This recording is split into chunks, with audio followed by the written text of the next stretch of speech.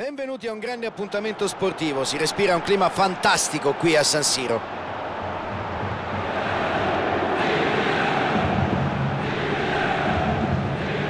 Il derby di Milano per la prima volta si è svolto il 10 gennaio del 1910.